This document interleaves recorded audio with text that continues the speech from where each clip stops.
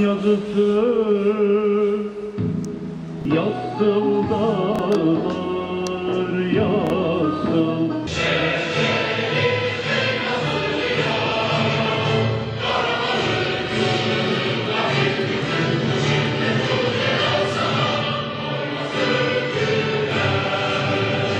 Tabii tarihte bizim için eğitim bir belediye başkanı olarak çok önemli.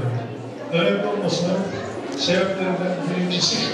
Biraz evvel genel müdürümüzden de sohbetimizde bundan bahsettik. Bizim şehrimizde o kadar tarihi, kültürel yapı, Osmanlı'dan kalmış miras, Selçuklu'dan kalmış bir miras yok. Cumhuriyet döneminde kurulmuş bir şehir. Bu Cumhuriyet döneminde kurulmuş şehirden geçimimizi sağlamaya Türkiye'nin her bir köşesinden koşa koşa gelmişiz.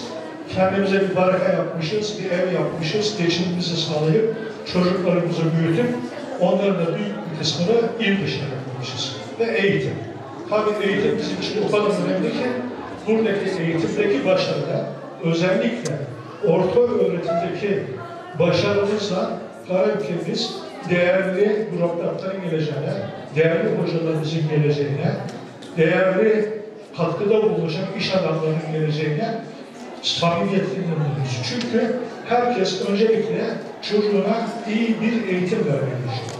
Bu iyi bir eğitime de tabii buradaki özverili çalışmayla milli eğitimimizin, halk eğitimimizin özverili çalışmasıyla Türkiye'deki sıralamamızda yerimiz belli olacaktır ki bugüne kadar Türkiye'de sürekli olarak bu sıra içerisinde bulunmaktayız.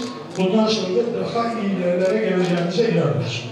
Ve biz belediye olarak Milli Eğitim Müdürlüğü'ne her türlü katkıyı vermeye hazırız. Ve Karabük son günlerde çok şanslı dönemini yaşamakta.